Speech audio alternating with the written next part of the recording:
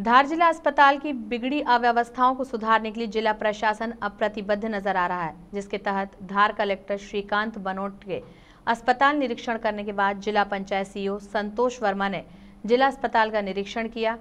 इस दौरान अस्पताल में गंदगी देखकर सीईओ भड़क गए और सिविल सर्जन को साफ़ शब्दों में अस्पताल में सफ़ाई व्यवस्था बेहतर रखने के निर्देश दिए। वहीं लेबर रूम में स्वीपरों को देखकर सीईओ ने आउटसोर्सेज के स्वीपर सुपरवाइजर को हटा दिया।